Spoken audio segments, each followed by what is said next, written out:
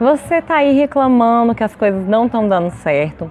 Você está aí reclamando da crise, você está reclamando do governo, você está reclamando, sei lá, de tudo. Tá tudo ruim, tudo difícil. Agora eu quero te perguntar uma coisa. Diante dessa reclamação inteira, dessas frustrações todas, quanto o ambiente na qual você está inserido influencia.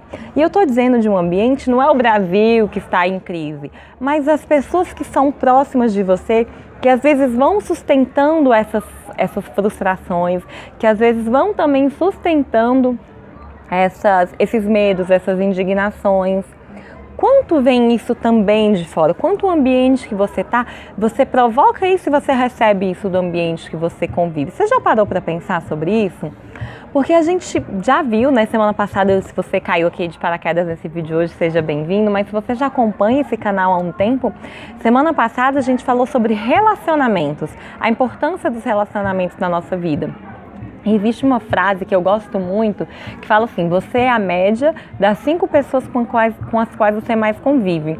E essa convivência pode ser a convivência física, mas pode ser também se você vê jornal todo dia, vendo, é, vendo pessoal falando de morte, de assalto, de não sei o que, que. Aquilo é uma pessoa com a qual você convive, que te influencia muito. Então, isso quer dizer assim: quem são as principais pessoas que te é, influenciam, te influenciam no sentido de que você recebe aquela informação como verdadeira.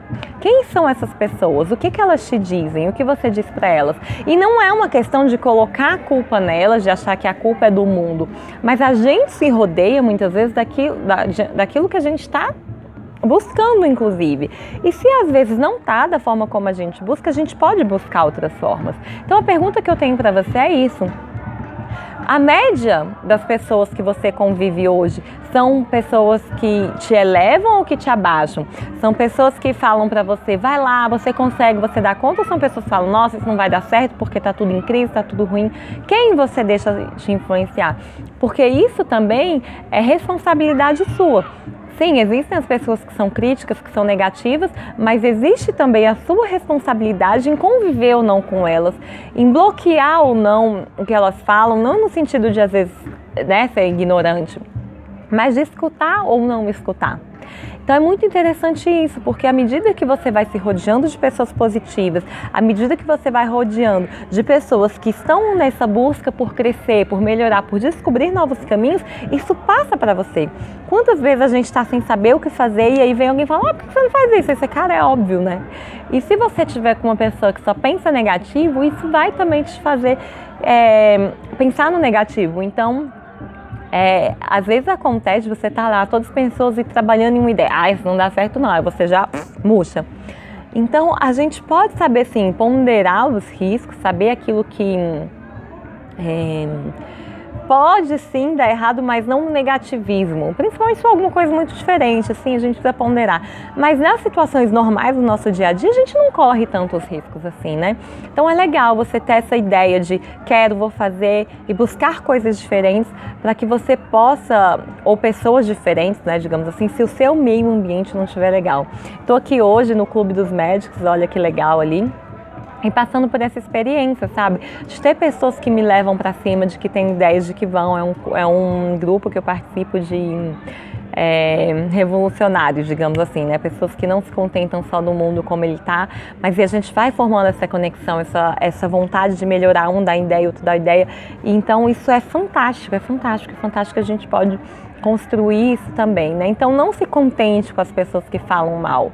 Você não pode mudá-las, mas você pode mudar a si mesmo e não se deixar influenciar. Se for preciso se afastar, sim, talvez seja um caminho, mas que você esteja consciente disso, é isso que eu quero.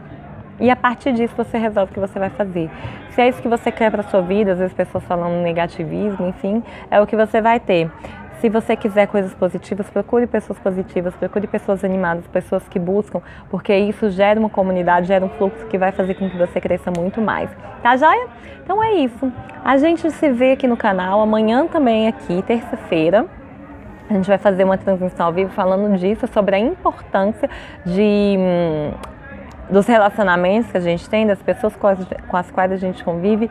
E vem participar comigo, vem participar com a gente. Tem no Instagram também, né? Então, no mesmo horário eu passo pelo Facebook, eu passo pro Instagram. Então vem participar, porque esse é um meio para você estar conectado, conectada com pessoas que buscam desenvolvimento pessoal, com pessoas que estão buscando melhorar a vida, melhorar a qualidade de vida, novas formas de pensar, isso faz toda a diferença. Tá joia? A gente se vê então aqui no canal. Um beijo!